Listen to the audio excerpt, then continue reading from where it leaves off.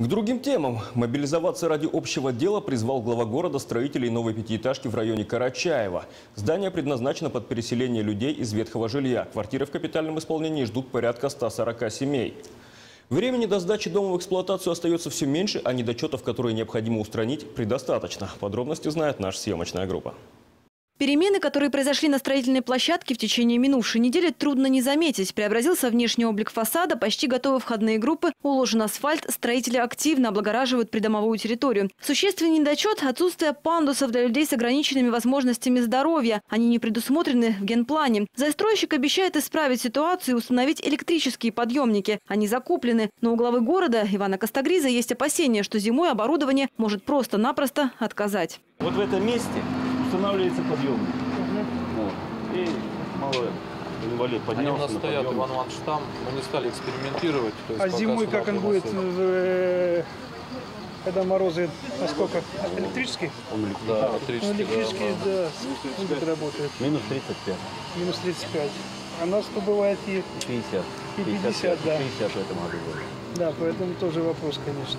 Отделочные работы внутри дома все еще продолжаются. Из шести подъездов четырех они уже завершены. Нареканий по качеству у градоначальника нет. Можно уже запускать людей по только организованно. Как там Посмотреть. посмотреть каждому свою квартиру, значит, пообщаться со строителями, может быть, есть какие-то нюансики, значит, вот, э, вот такую работу нужно организовать. Значит, это будет правильно. На стадии отделочной, и вопросов меньше будет потом, когда начнем заселять, и жалоб меньше будет. Качество э, строительства неплохое. Надо отдать должное те замечания, которые мы высказывали по предыдущему дому, они были учтены. И в этом доме уже используется и значит, э, сантехника хорошая, и комплектующие хорошие подобрали, качественные. Надеюсь, что это так будет в процессе эксплуатации. Несмотря на высокую степень готовности, есть проблема, которая оттягивает срок сдачи объекта. Пока нет возможности подать в дом воду. Центральный тепловой пункт реконструируется. Инженерные сети к нему на стадии строительства. Подрядчик просит еще полторы недели для завершения работ. Впрочем, неудобства испытывают сегодня все жители района. Вот сейчас э, жители Карачая будут э, слышать, э, когда они получат горячую воду. Число. В среду, на следующей неделе. В среду на следующей неделе.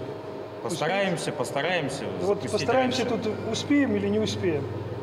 Будем стараться. Хотел бы э, и извиниться перед жителями района Карачаева и попросить немножко, конечно, терпения. Не так уж долго мы удлиняем сроки э, неподачи горячей воды. Это все связано, конечно же, прежде всего с реконструкцией, со строительством для того, чтобы повысить надежность э, эксплуатации в зимний период.